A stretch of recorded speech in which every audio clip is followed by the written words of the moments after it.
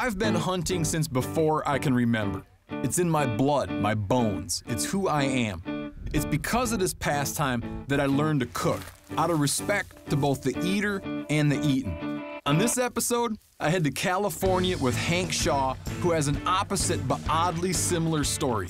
Hank is a cook first, who learned to hunt late in life in order to develop a more intimate relationship with his ingredients. We're on my friend's ranch, a place with a few Columbia blacktails, a lot of wild pigs, and a handful of small game species, and we're hoping to obtain some fine, fresh, wild meat. I'm Steven Rinella. To me, hunting isn't only about the pursuit of an animal. It's about who we are and what we're made of. I live to hunt and hunt to live. I am a meat eater.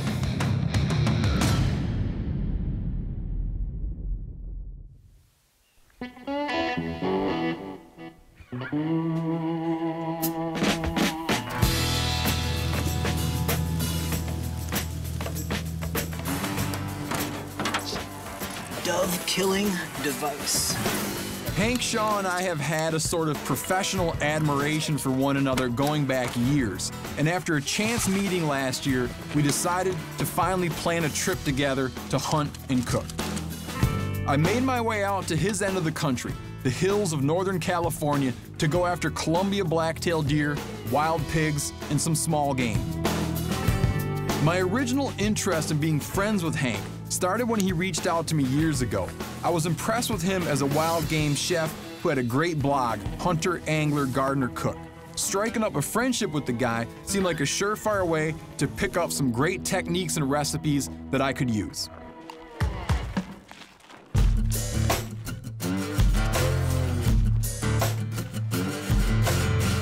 Now, I ain't gonna tell you, I don't think I've ever actually seen a deer on this property. So you're saying this is a gimme hunt? But the thing I will tell you is this place is crawling with wild pigs. We're set up for a morning glassing session, situated on a hill where we can bounce back and forth under a little bit of cover with good views of the surrounding hills. Oh, I got a, I got a lone, fat little pig, man, Oh, yeah? up in the tree line. Yeah, I see him. Pigs can be found all over this ranch, but the more elusive thing to find, and what we're really hoping to see, are some Columbia black-tailed deer. Oh, I got a pack of deer. Do you? Yeah, Where are they at? three of them. I'll be damned, I see him. Nice spotting, Tex. Thanks. Jeez. There are four deer actually on that bench. Are there? There's a nice, there's a buck in there. Uh, yeah? Sweet. Two bucks. Is it the two in the shadow? The two that are fighting. Yep. Oh yeah, I see antlers. An encouraging sign. And not just a couple does either. There was at least one legitimate buck out there. There's no catching these deer now that they're heading into thick bedding cover, but at least we've got a mark for where we can expect to see them later on. We'll have to wait till evening before we have a chance to glass up some more deer. But I think for now, we'll just start picking our way back toward camp. And then um, if we really put a lot of work into it and hunt really hard, I think we might be able to work up a jackrabbit. Oh, I don't know. I'm, I'm not above shooting jacks with a 270. You aim a little high, I'm assuming. I'm, I'm an expert at killing jackrabbits with large caliber rifles. This time of year, just for sanity's sake, you gotta have something else to hunt during the midday doldrums. So before the sun gets to its most brutal stage, we decide to split up and see if we can rustle up some small game. Dove season is open, it's quail season for bow. We could also work up a jackrabbit. There's lots of possibilities. No matter what happens and who shoots it, Hank's cooking it.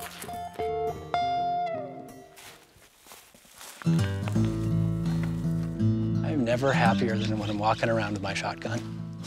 I think it's just because I don't big game hunt enough, where I don't feel at peace and at ease the way I do when I'm shotgunning. Jackrabbit.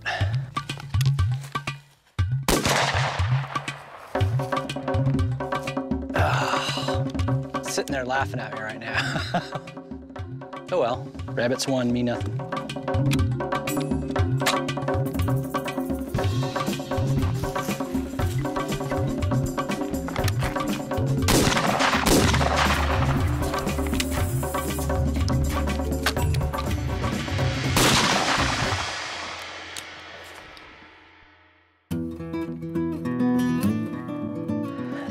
Mr. Jack, but you're gonna be lunch. It's a young jackrabbit. Because he's very small, these can get twice the size. But young is tender. So the stew that I make with this is from Sardinia. Basically, it's super simple. It's got capers and saffron and onions, and yeah, I brought capers and saffron to the to the camping site because I, I kind of thought we might get a jackrabbit. So Now, jackrabbits are not generally considered to be good eating, but Hank's known for cooking critters that most people ignore and then turning them into mind blowing meals. I'm excited to see how his stewed jack is going to stand up to the animal's general reputation.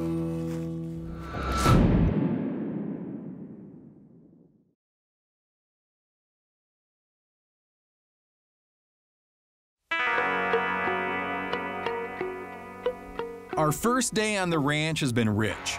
Right off the bat, we spotted both deer and pigs, and Hank already put some meat in the cooler. In the evening, we head out to re-find the buck that we saw this morning. We set up where we should be much closer in order to make a stalk, but the buck never shows. There's two more up here. Just getting kind of late to tell what they are. We do see a few more deer scattered on distant hills, but the closer ones are does. As for the farther ones, in the waning light, it's impossible to tell if they're carrying antlers or not. tomorrow's another day. But one thing's clear if we want to catch these deer out feeding tomorrow morning, this is the place to be.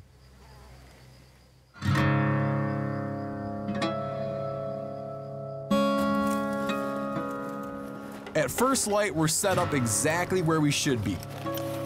Things just feel right. I got two deer over here. Oh, yeah? They're headed up that slope, but they probably would go down getting water at night. He's got waiting for our buck to make his appearance. Oh, I see him. Right. Uh, it's another deer. Oh, yeah, that's the, that's the buck. There you go. How far is that? 475. He's out there. A responsible hunter, Hank knows his maximum effective range and he doesn't even feel tempted to risk a shot he's got no business taking. We plan a stalk to get a little closer. I feel fairly certain that the buck will follow the same route toward his bedding area that he used the day before, and I get Hank set up to intercept him. Just go. Like creep up. By the manzanita.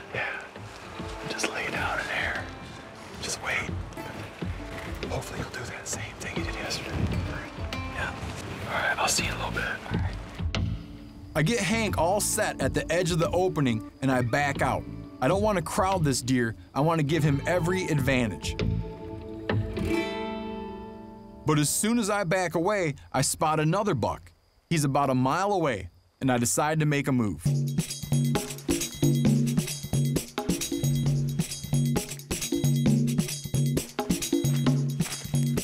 This landscape is not making it easy. The steep angles of the hill, the brush, and shifting uphill winds all combine to make this a very difficult approach.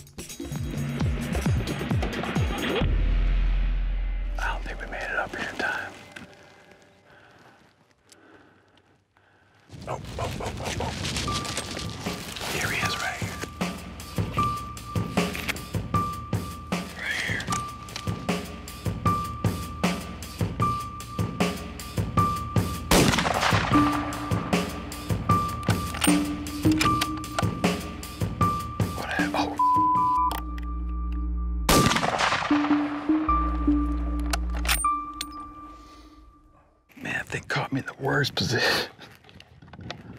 I was looking up there, and they must have finagled their way back down. And being a left-handed, oh man, it's like the amateur hour here. Here on amateur hour television.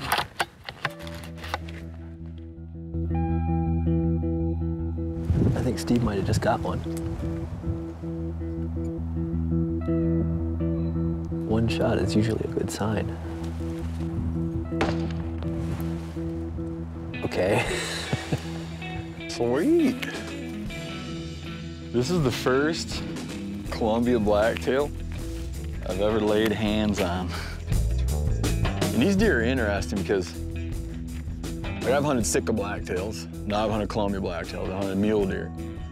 What they think now with modern genetics work is mule deer are, are, are, kind of a brand new species in a historical sense. You know, maybe like around the time humans arrived in the New World, like that's all the older mule deer are. And they think that it was the result of hybridization between black-tailed bucks and white-tailed does when whitetails had, had a more western range.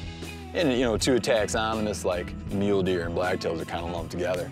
They just have an arbitrary, the I-5, Interstate 5 in California. Everything west of that is regarded as a Columbia blacktail. Everything east of that regarded as a mule deer. But this guy could cross that corridor and he would become, for hunting purposes, he would all of a sudden be a mule deer, same deer. Look at a nice little summer coat. It's blazing hot, so I'm gonna get this guy in the shade for now before I start working on him.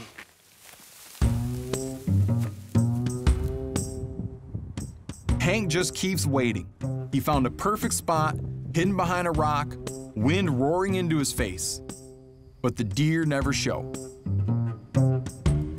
Deer two mean nothing. I shot this buck straight on through the heart.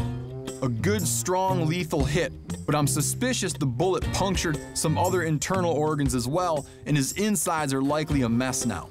In this case, it's best to go with what's called the gutless method, which leaves the inner organ lining intact. The downside of that is it's hot, you know, so you want to work fast because those things are, they're not, they're not getting any fresher in there. I do my belly incision without cutting into the cavity, and then remove one side of the hide just like pulling over a winter blanket. Working on just this side, you can remove the back ham, the shoulder, the neck, and take the back strap out. And even though I haven't gutted it, gravity is pulling the insides down, and there's just enough space to remove the rib meat without disturbing the innards. There's a big botfly larva that was in his nasal cavity. That is a vicious parasite to carry around right there. Can you imagine living with that? I mean, it's not as bad as getting shot in the skin, but it's gotta be pretty bad.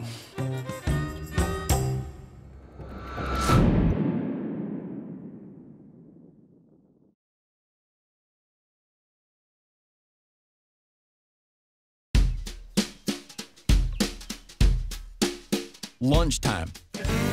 One of Hank's favorites, Sardinian hare stew. Hank has promised to make a jackrabbit believer out of me, and I have to admit a small degree of skepticism. I've eaten quite a few jacks, but have never found a way to make them something you'd want to share with anyone besides your enemies.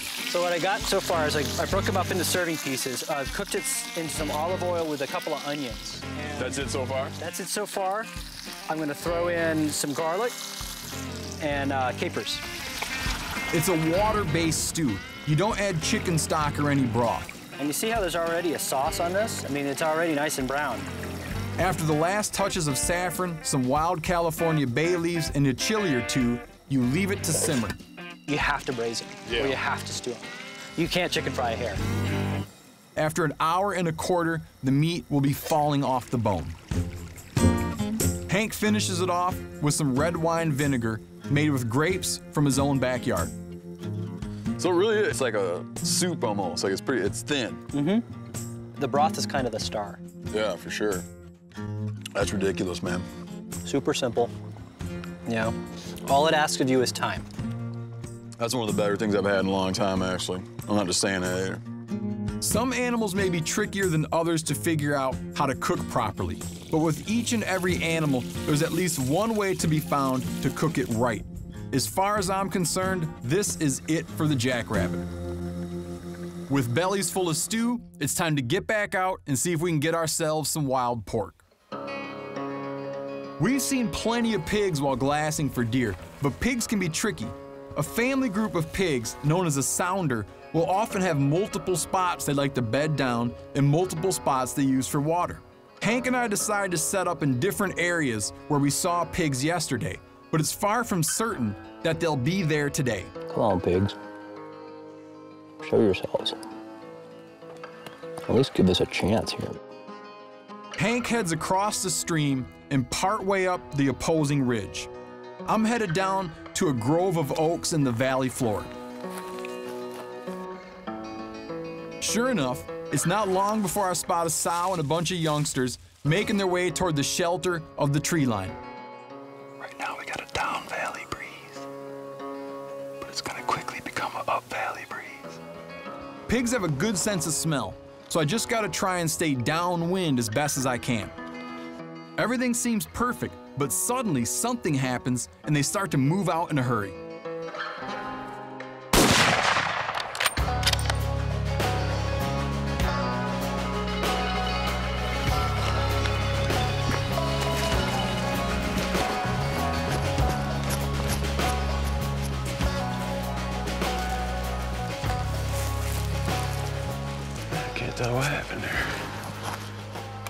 Sudden started running like they were getting spooked a little bit.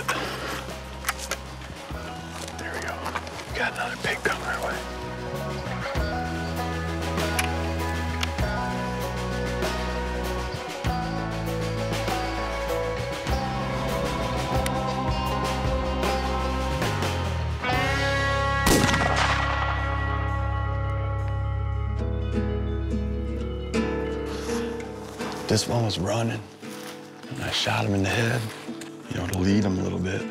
So in order to make sure he gets bled out right, I'm gonna cut his jugular. Hank, on the other hand, is just not spotting any pigs. He's coming up empty. Just heard a shot. I think Steve got me again. All right, I got some work cut out for me now. It's blazing hot out, so first priority is to get these pigs in the shade and roll the guts out.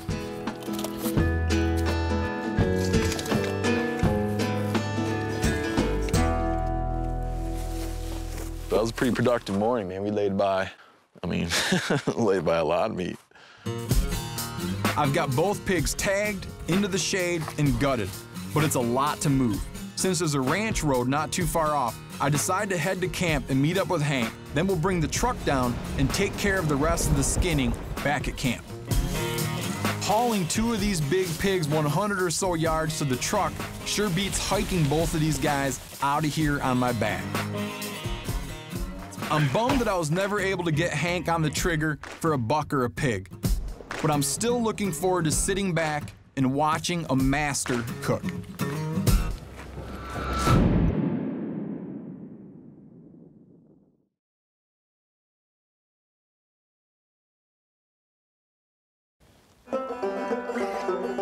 Was able to take down only a young jackrabbit this trip, but I didn't bring him out here for his own enjoyment. He's here to give me some new ideas on cooking wild game. Hank's gonna show me one of his most versatile wild game stews using our buck. While that cooks, he's got a pig heart dish that's a variation on the classic German Jaeger schnitzel. But first, the venison stew. This dish is by far one of my favorite dishes to do with anything, and it's, it's, it's called chilindron. It's a Spanish dish. You can't rush this step. This is one of the most important things, especially if you're gonna do a stew. Don't crowd the pan, just take your time. You get a nice brown, and you get all of this good stuff in the pan. Hank browns the meat and then uses some homemade wine to deglaze the pot. All that charred brown stuff scraped off the bottom is gonna add a ton of flavor to the stew. Building a stew is, is basically you're building like a house, and we've just built the foundation, and now everything sort of gets built up around it. The blend of spices is what makes chilindron what it is. Smoked paprika, a heaping amount of regular paprika, and then Hank's special blend of rehydrated Mexican chilies. Next, some game stock, this made from smoked goose. Then the last couple touches, some white sage and California bay leaves. But this is, that's it. I mean, we just let this go until the venison That's it? falls to pieces. That's a lot, man. In the meantime, we set to work on that pig heart. So what I'm gonna do is I'm gonna clean this up and I'm gonna make it into a, you know, like a schnitzel or a cutlet. And what you're gonna do is you're gonna cut around so you can kind of open it up like a book. You take this veiny stuff off, just pretty it up. Because the point here is actually to make a piece of meat that somebody who might be scared of eating hard, uh, they'll like it. They're like, oh, it was so good. Next step, pound the meat flat.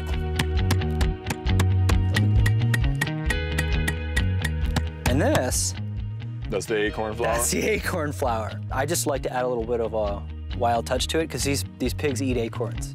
Probably shot them under an acorn tree. He's about ready to go under one. exactly. Now we fry. A traditional German Jägerschnitzel uh, originated with venison. Oh yeah, hunter schnitzel. Mm-hmm. These are done. A simple sauce of rehydrated morels and some onions. It's really, it's camp food. You know, it's kind of appropriate for where we are. Ain't my first camp trip, Hank. Look at that. Look at that. That heart was just tender. That big old boar is good, man. He's all right. Yeah. Three hours later, the chilindron is ready. Red food is always good, you know what I mean? And this is the king of red food. Again, man, that's tasty. But this is a good use of your deer, man. I'm sorry I didn't get one. I just seemed to be in the wrong place at the wrong time the whole time. I know. I was out there having good luck. You're out there having bad luck. Yeah, you know, the gray buck that we saw, you know, it's... Who still has no idea we were trying to kill him. Exactly. in your mind, you're already making chilindron out of him. But I'll tell you, you changed my mind, like what I considered to be an educated dismissal of the jackrabbit, and I, now I'm gonna go in and adjust that. Thank you. I'm gonna revisit the idea of jackrabbits.